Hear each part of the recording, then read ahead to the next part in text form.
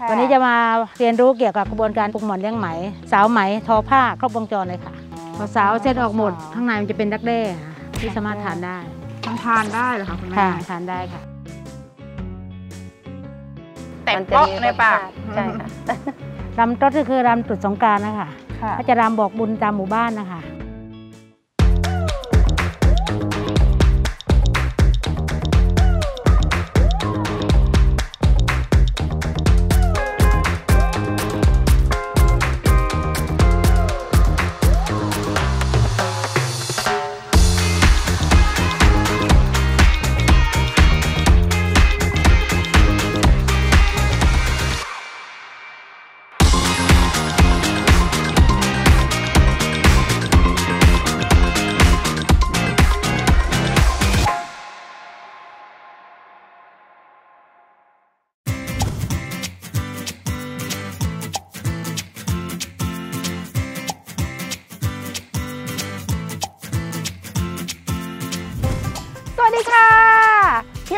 ทางวันนี้นะคะ ขิมอยู่ที่จังหวัดบุรีรัมย์ค่ะ มาเที่ยวกันในตีมมาเที่ยวใหม่ที่บ้านสนวนนอก เห็นขิมอยู่ในดงหม่อนอย่างนี้ สวยงามวันนี้ขิมจะพาทุกคนมาดูวิถีชีวิตของคนเลี้ยงไหมกันค่ะ มาดูตั้งแต่การปลูกมอนเลี้ยงไหมไปจนถึงการทอผ้าไหมเลย วันนี้นะคะ เราจะไปอยู่ไปกินทำกิจกรรมแบบเอ็กซ์คลูซีฟกับคนที่นี่กันเลยซึ่งขิมได้นัดคุณแม่ผ่องศรีไว้แล้วค่ะ เป็นผู้ที่จะพาขิมไปทำกิจกรรมในวันนี้ เดี๋ยวเราไปเจอกับคุณแม่กันค่ะ ไปค่ะ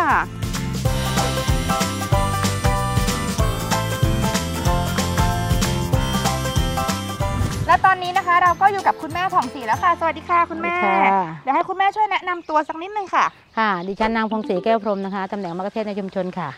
ค่ะวันนี้จะมาเรียนรู้เกี่ยวกับกระบวนการเลี้ยงไหมปลูกหมอนเลี้ยงไหม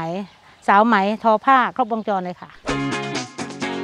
โอ้เขาทำกันทุกวันเลยเหรอคะทุกวัน กิจกรรมของผู้สูงอายุเลยค่ะเนี้ย อืมค่ะค่ะตัวไหมที่มันไปกินต้นหม่อนนี่อยู่ไหนคะคุณแม่ อยู่ในกระด้งนี่ค่ะนะคะ ค่ะ เป็นพันตัวเลยนะคะต่อกระด้งเยอะแยะแล้วเราจะสามารถเอาไหมจากเขาได้เมื่อไหร่คะคุณแม่คือรุ่นหนึ่งเลี้ยงเลี้ยงได้ถึงอ่า28 วัน ค่ะ 28 วันต่อรุ่นมันจะจะได้เป็นฝักหลอกแล้วก็จะสาวไหม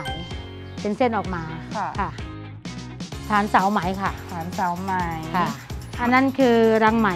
ที่ใส่เข้าไปเพื่อให้ได้เส้นไหมออกมาก็คือเอาไปต้มเหรอคะใช่ไปต้มต้องความร้อนต้อง 90 องศานะคะอืมถึงใยไหมถึงจะออก พอสาวเส้นออกหมด ข้างในมันจะเป็นดักแด้ค่ะที่สามารถทานได้มันทานได้เหรอคะคุณแม่ค่ะทานได้ค่ะ จะชิมไหมคะมีดักแด้อยู่นะชิมอะไรได้เลยคะชิมได้เราไม่ต้องไปปรุงรสกันเลยคะจิ้มเกลืออร่อยมากเลยอ๋อค่ะว้าวจิ้มเกลือนิดนึงชึบมันไม่มีรสชาตินะคุณแม่ มันมันมันมันใช่ แต่ก่อนหนุ่มสาวไม่นุ่งกางเกงนี่หรอกก็นุ่งผ้าถุง แล้วถลกให้เห็นขาอ่อนและสาวไหมเพื่อที่จะดูว่าเส้นไหมสม่ำเสมอไหม แล้วกิน 12แล้วก็ตัวมีหนุ่มๆมานั่งกินดักแด้จิ้มเกลือดูขาอ่อนสาวไปด้วย อ๋อใช่ค่ะ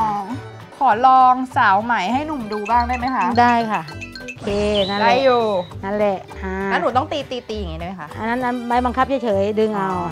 ในหม้อนั้นประมาณ 120 รังนะคะต่อเส้นหนึ่งแล้วมันจะได้ไหมเส้นเดียวหนึ่ง เส้นยาวๆ ค่ะ ใช่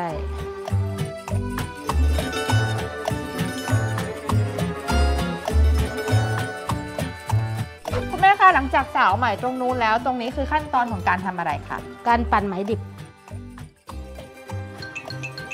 แล้วเดี๋ยวไม่ก่อนไม่ไม่ไม่ไม่ไม่มูลอันนี้ค่ะมูลอันนี้ค่ะ ใช่โอ้มันลุกคมอยู่นะคะคมเนี่ยค่ะ มันจะบาดมือเอา ใช่ คุณตาสวัสดีค่ะ คุณตาทำอะไรอยู่คะ ตีเกลียวครับ ตีเกลียว เกลียวไม้ครับตีเกลียวไหม ตีเพื่ออะไรล่ะคะเดี๋ยวเพื่อเอาไปพุ่ง เอาไปพุ่งต่อไปพุ่งทอ อ๋ออันนี้ไหมที่ผ่านกระบวนการย้อมมาแล้วอ๋อนี่ย้อมแล้วค่ะ อันนี้ใช้ไหมสองสีสีเหลืองกับสีเขียวควบกันค่ะ อ๋อพอตีแล้วมันจะกลายเป็นเส้นเดียวเป็นไว้สกัอนงสีในใช่เส้นเดียวใช่ หลังจากตีเกลียวนี้ถือว่าเสร็จเลยไหมคะคุณแม่ ยังค่ะ จากตีเกลียวเสร็จไปปั่นแปะไปปั่นตรงนู้นที่คุณยายปั่นอยู่ใช่ค่ะ คุณยายสวัสดีค่ะ คุณยายทำอะไรอยู่คะให้กระบะดูกระบะหายบักโซนภาษาเขมรนะคะก็บักโสดกวักโสดใช่ภาษาไทยคืออะไรคะ ปันไหมอะปั่นไหมค่ะ จากที่คุณตาตีเกลียวไว้ ใช่ค่ะก็เอามาใส่ที่อัเกี่ยวไว้มานใส่นี้อันนี้ เพื่อที่จะปั่นใส่โหลดเล็กอ๋อแล้วเดี๋ยวไปปั่นใส่หลอดแล้วก็ทอ ใช่ นี่ก็เป็นขั้นตอนของการทอใช่ไหมคะคุณใช่แม่ค่ะ ลายที่เห็นนี่คือลายอะไรคะลายที่เห็นนี่คือหางกระรอกคู่ตีนแดงค่ะเข้าประจำ จังหวัดบุรีรัมย์ อ๋อ เป็นค่ะ ลายประจำจังหวัดบุรีรัมย์ค่ะ อืมันจะมีหางกระรอกสองสีอะค่ะอ๋อมันจะมีแบบได้สองใช่สี สีผูสีสีแดงสลับค่ะ กันนะคะแล้วขั้นด้วยตีนแดง อ๋อ ค่ะต้องมีขั้นด้วย ค่ะ อ๋อ ที่ขั้นอยู่ตรงปลายใช่ค่ะตรงปลาย ถ้าแต่ก่อนสมัยแต่ก่อนอะ สาวไหนที่ทอผ้าไม่เป็นเขาจะมาเป็นลูกสะใภ้ผู้ชายที่เผาถ่านจักตอกไม่เป็นจักสารไม่เป็น ก็ไม่ได้เป็นเขยต้องเรียนรู้ทุกอย่างเขาจะเลือกกันอย่างนี้ค่ะ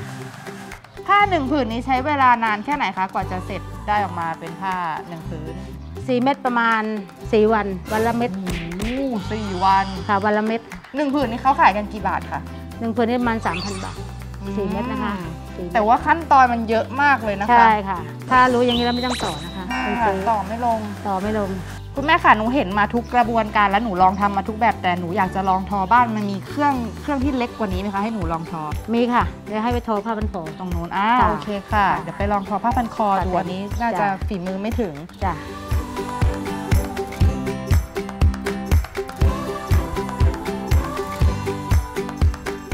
และนี่ก็คือเครื่องทอที่เล็กลงมาอีกนิดนึงค่ะ ที่คุณแม่จะมาสอนหนูทอ อันนี้จะเป็นการทอ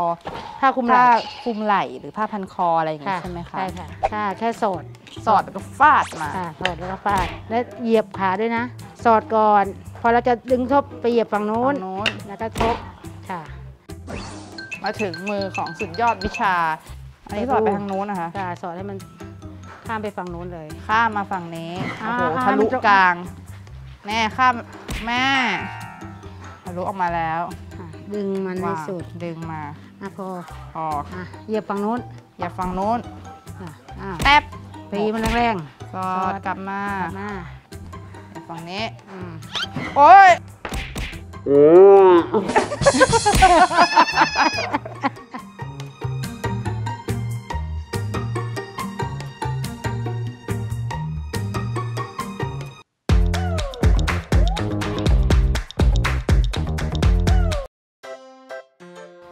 คุณแม่คะคนที่เนี่ยนอกจากเขาจะปลูกหมอนทอผ้าเลี้ยงไหมอะไรพวกนี้แล้ว เขายังมีวิถีชีวิตของการทำนาด้วยใช่ไหมคะคุณแม่ใช่ค่ะ อย่างเช่นตรงนี้ข้างหน้านี้คือเป็นฐานกระดิ่งวัวกระดิ่งควากระยดิ่งควาย ซึ่งค่ะมันมีหลายแบบมากเลยคุณแม่ค่ะ ใช่ค่ะ แต่ละแบบมันต่างกันยังไงบ้างคะต่างกันค่ะ เพราะว่าสมัยแต่ก่อนตามวัวควายได้ก็เพราะเสียงกระดิ่งค่ะ ค่ะ พอไม้จัดชนิดเสียงจะไม่เหมือนกัน อย่างอันนี้ อันใหญ่มันก็เสียงเสียงทุ้มหน่อยอ่า ถ้าอันเล็ก เสียงมันก็จะเบา อย่างอันนี้มันก็เสียงอย่างเนี้ยค่ะอืมเพราะไม้จัดชนิดเสียงจะไม่เหมือนกันเลยเจ้าของเขาก็จะจำเสียงไม้ที่เขาทำได้ใช่ใช่ไหมว่าคะ วัวควายเราอยู่ตรงไหนไปตามมันนั้นเลยเราก็เลยตั้งฐานนี้มา เพื่อที่ให้เด็กรุ่นหลังจะได้เรียนรู้ว่าการทำกระดิ่งทำยังไง ไม้แต่ละท่อนมีค่ายังไง เพราะไม้ท่อนหนึ่งสามารถแปรรูปเป็นกระดิ่งได้คู่ละ600บาทค่ะโอ้น อกจากไม้ที่มาแปรรูปเป็นกระดิ่งแล้วยังมีอะไรอย่างอื่นอีกไหมคะคุณแม่ที่สามารถนำมาแปรรูปให้มีมูลค่าเพิ่มมากขึ้นได้ ตอนนี้เป็นกะลามะพร้าวค่ะค่ะที่เราทำและทิ้งอะค่ะสามารถเอาเป็นอ่าออมสินควายออมสินช้าง หรือทำเป็นรูปนกต่างๆเนะคะอืมงั้นคิมขอลองไปดูการทำกะลามะพร้าวได้หมค่ะโอเคค่ะ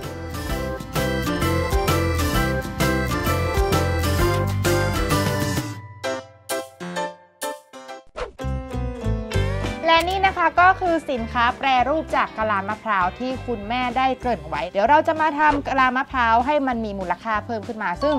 ผลิตภัณฑ์สินค้าทั้งหมดนี้นะคะ เป็นฝีมือของคุณลุงอุทัยใช่ไหมคะคุณลุงสวัสดีค่ะเดี๋ยววันนี้คุณลุงอุทัยจะมาสอนหนูทำอะไรคะเนี่ยทำปูปูโอเคค่ะ เดี๋ยวคุณลุงอุทัยจะมาสอนทำปูจากกะลามะพร้าวกันค่ะ จะมีผู้ช่วยให้ช่วยทำค่ะ มีผู้ช่วยใช่ไหมงั้นขอเบิกตัวผู้ช่วยได้ไหมคะได้เลยค่ะหยองมาเลยค่ะ น้องหยอง นี่น้องหยองจะมาทำปูกับเรา ให้คุณลุงอุทัยสอนมาค่ะ เริ่ม เอาค่ะ มาติดแล้วก็เขาจะเป็นขี้ผงอะไรคะคุณลุง ผงฝุ่นครับผงฝุ่น ขี้ฝุ่นเอากาวร้อนมาหยดอ่าอ่าติดแล้วปูปูนี่จริงๆ ถือเป็นจุดเริ่มต้นของคุณลุงอุทัยที่ทำกะลามะพร้าวเลยใช่ไหมคะไม่ใช่ค่ะ แม่ตอนแรกลุงจะทำพวกประมาณนกอ๋อบินข้างบนจะนะทำห้อยข้างบอะ นนี่ก่อค่ะ น ทำนกข้างบนก่อนตัวละร้อยข้างบน พอทำเสร็จแกมีไอเดีย ค่ะ มีกะลาสวยๆ แกก็ทำพวกเนี้ยค่ะก็เริ่มแตกปลายออกไปใช่ใช่ทำเป็นหม้อทำเป็นพวงเครื่องปรุงตามไอเดียอันนี้มีขายที่ไหนบ้างคะคุณแม่อ่าในบ้านสนนนอกมีที่นี่ที่เดียวค่ะคุณลุงที่อุทัยบ้านทำคุณลุงอุทัยที่เดียว ใช่ใช่ค่ะ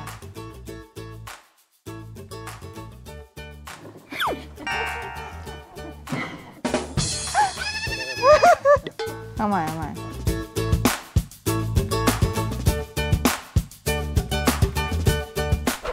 แล้วค่ะ การทำปูจากกะลาของเราที่ขิมและน้องหยองทำขึ้นมาเองกับมือ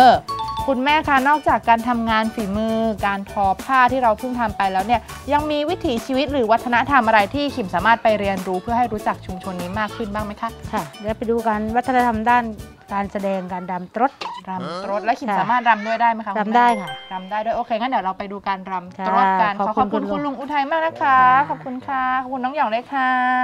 ไปรำตรดค่ะไป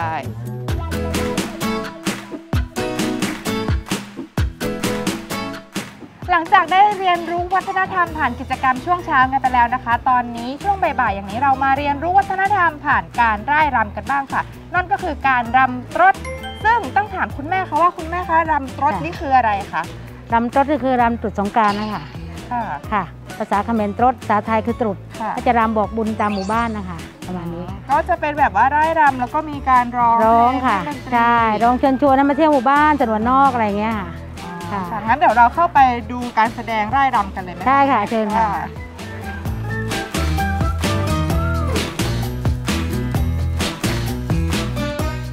ก่อนที่จะไปดูการร่ายรำนะคะ เขาก็จะมีการทำบายสีสู่ขวัญให้กับขิมกันก่อนค่ะ เดี๋ยวเราเข้าไปดูพิธีการบายสีสู่ขวัญกันก่อนค่ะ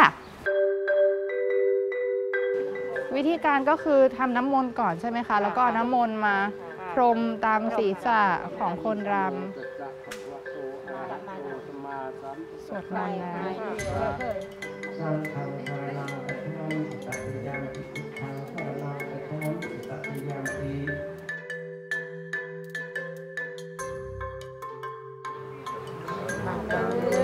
แล้ว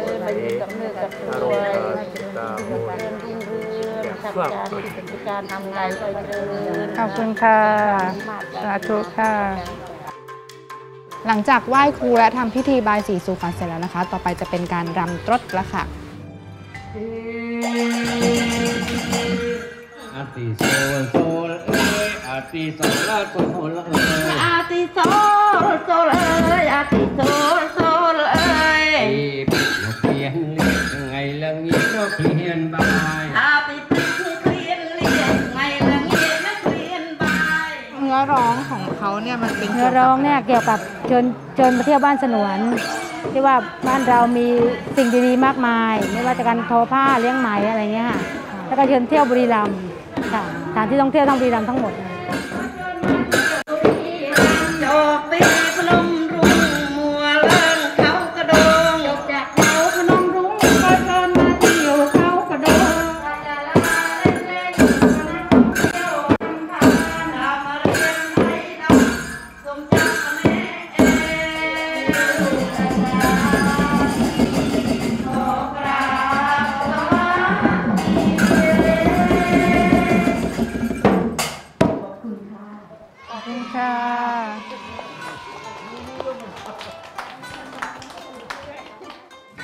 มมติคนที่สนใจอยากจะมาทำกิจกรรมแบบที่ขิมทำเนี่ยมาร้องรำกับชาวบ้านเนี่ยสามารถติดต่อมาที่นี่ได้โดยตรงเหรอคะ หรือว่าต้องติดต่อทางไหนคะติดต่อทางเฟซบุ๊กทางอ่าเพจหมู่บ้านหรือทางแม่โดยตรงเลยก็ได้ค่ะ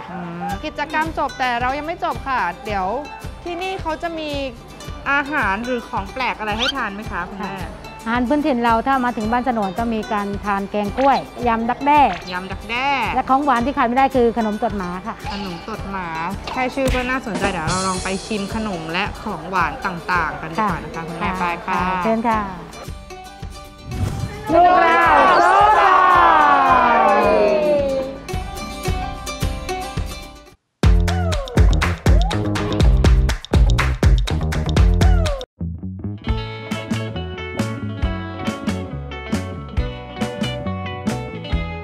นี้กำลังทำอะไรอยู่คะทำขนมตดหมากำลังปิ้งอยู่เลยร้อนๆปิ้ง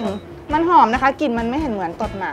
อ่ามันจะหอมมะพร้าวอ๋อใบตองค่ะ อันนี้คืออะไรนะคะ อันนี้รากของตดหมาที่ต้มค่ะ อันนี้ที่เหม็นหรือที่หอมคะหอมค่ะ อันนี้หอมใส่ใบเตยนิดอ๋อค่ะแล้วอันไหนคือที่เหม็นคะๆใบมันมันค่ะเป็นเครือของเขาใบมันค่ะอ๋อใบมันจะเหม็นเป็นใบขิมนั้นมีความอยากดูขออนุญาตดมค่ะว่าใบมันจะเหม็นเพียงใดโอ้ โหโอ้โหใช่ไม่ไหวแต่รากมันหอมใช่ไหมคะแต่ใบมันเหม็นมากเลยอะแล้วตอนนี้นะคะขิมก็อยู่กับคุณแม่อุไรแล้วค่ะ เป็นคนที่จะมาสอนขิมทำขนมตดหมาในวันนี้ สวัสดีค่ะคุณแม่อันในนี้คืออะไรคะอันนี้ส่วนผสมแป้งข้าวเหนียวกับน้ำตาลอ้อยแล้วก็กล้วยค่ะ อ๋อแล้วก็มีน้ำรากตดหมาโอเคผสมค่ะ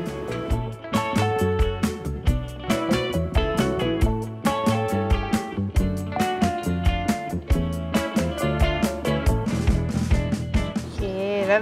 แค่นี้เลยเหรอคะแล้วก็ไปปิ้งเลยเหรอคะค่ะอ๋อโอเค คุณแม่ค่ะคิมห่อขนมต้นหมาเสร็จแล้วค่ะ เดี๋ยวเรามาปิ้งกันดีกว่าชึบ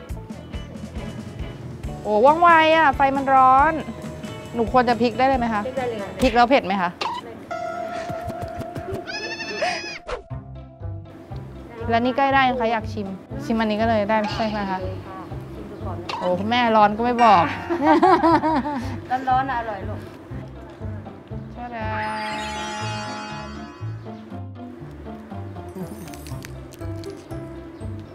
ร้อนวางเย็นมันเหมือนขนมจ้ะเหมือนขนมจากใช่จะค่ะหอมใบเตยหอมใบเตยตอนแรกที่หนูได้ยินหนูคิดว่ามันจะต้องเป็นขนมที่แบบว่าเหม็นตดหมาอะเด็กๆ ได้ยินก็ปิดจมูกเลยนะ คนที่ไม่รู้จักเพราะเพราะ ขนมตดหมาเนี่ยนะคะ ถือว่าเป็นขนมประจำจังหวัดบุรีรัมย์เลยค่ะ เพราะว่าที่ไหนเนี่ยก็ทำแต่ว่าคุณแม่บอกว่าที่อำเภอห้วยราชเนี่ยจะมีสูตรพิเศษของเขาเลย ถ้าใครสนใจเนี่ยสามารถติดต่อมาทางคุณแม่ผ่องศรีหรือว่าทางเพจ Facebook ก็ได้ เขาทำตามออเดอร์เท่านั้นค่ะวันต่อวัน แล้วก็ชิ้นละ 5 บาทเท่านั้นค่ะ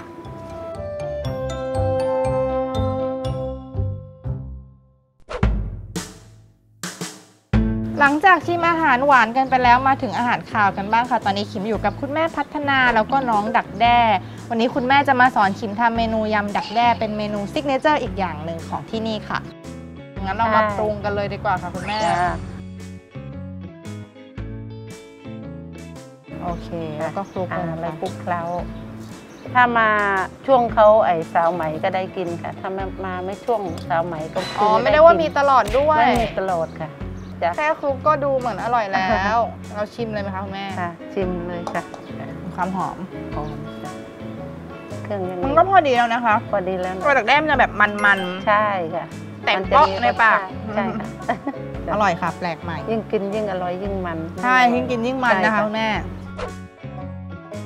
กล้วยที่อยู่ตรงหน้าขิมนะคะ ไม่น่าเชื่อว่าจะสามารถนำมาทำเป็นของขาวได้ค่ะ ซึ่งกล้วยนี้ก็คือกล้วยหอมทิพย์ค่ะนำมาทำเป็นเมนูนี้นั่นก็คือ แกงกล้วยใส่ไก่ แล้วอันนี้นะคะคุณแม่คืออะไรคะ อันนี้คือหัวปลีกล้วยน้ำว้า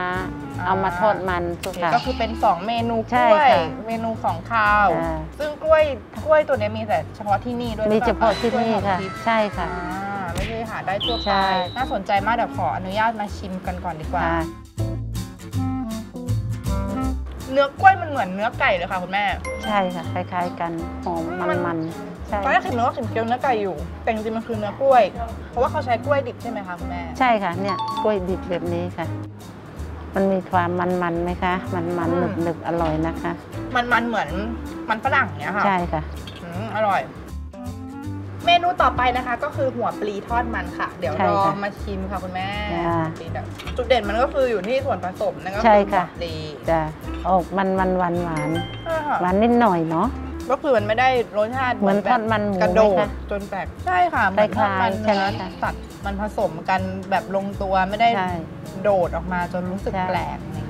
เงี้ย ทานกันอิ่มแล้วนะคะ ต่อไปเราไปนั่งรถให้ย่อยกันสักนิดหนึ่งเป็นแต่ไม่ใช่รถธรรมดาใช่ไหมคะคุณแม่ไม่ใช่ธรรมเป็นดารถกระสวยอวกาศค่ะเดี๋ยวเราลองไปนั่งรไปถกรัระบสวยอวกาศท่องเที่ยวค่ะ รับลมชมวิวนะคะใช่ค่ะอาหารมันย่อยโอเคใช่ค่ะเดี๋ยวไปนั่งกระสวยอวกาศกันค่ะไป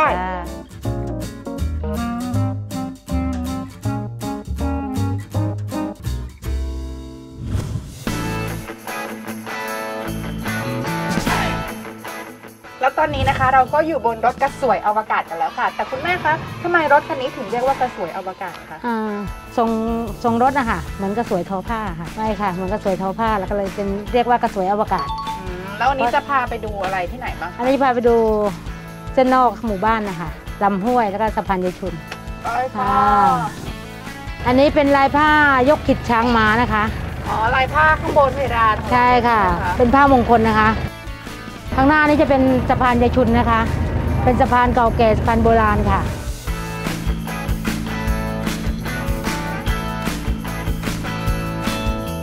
ก็จบกันไปแล้วนะคะสำหรับทริปไปเที่ยวใหม่ที่บ้านสนวนนอกจังหวัดบุรีรัมย์วันนี้เราได้ไปเรียนรู้วิถีชีวิตคนทอผ้าไหม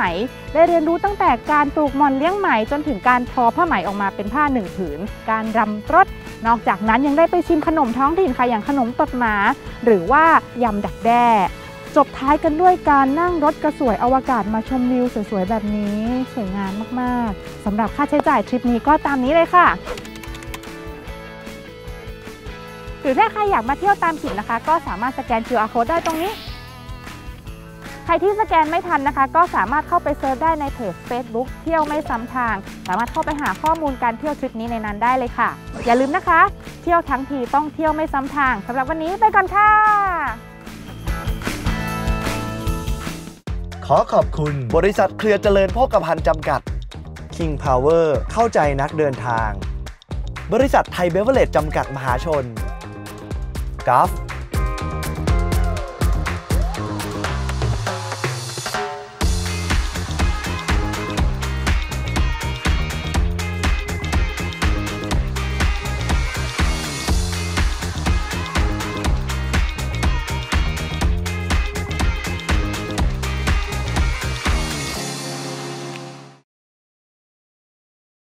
Amarin Tiwi.